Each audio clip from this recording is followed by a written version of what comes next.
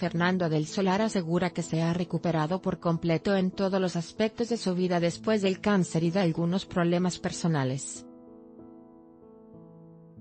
Así lo dejó ver durante su participación para celebrar el Día del Superviviente de Cáncer, en la que el conductor compartió su testimonio con otros pacientes que superaron esta enfermedad. Como prueba de su recuperación, Del Solar adelantó que en el plano laboral prepara un nuevo proyecto.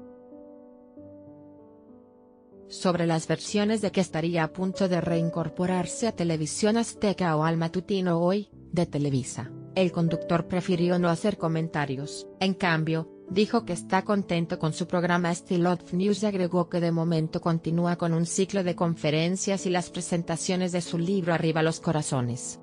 También quiero producir un programa, lo presentaré a todas las televisoras y veré quién está de acuerdo conmigo para hacerlo, señaló Del Solar, quien incluso tiene un plan alterno en caso de que no lo acepten.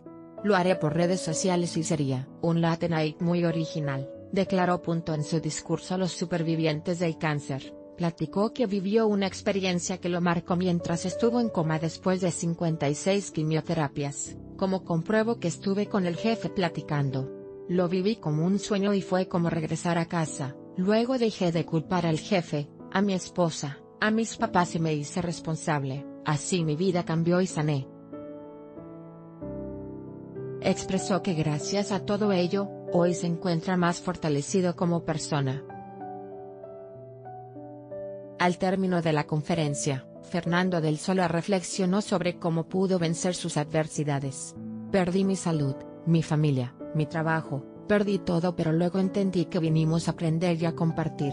Aprendí a perdonar a todos, a Dios, a la vida, a los jefes porque no tenía trabajo, a la pareja que es con quien uno más se enoja. Y a mis hijos les doy mucho amor. Me desperté, Aprendí a viajar sin ataduras y a vivir aquí y ahora.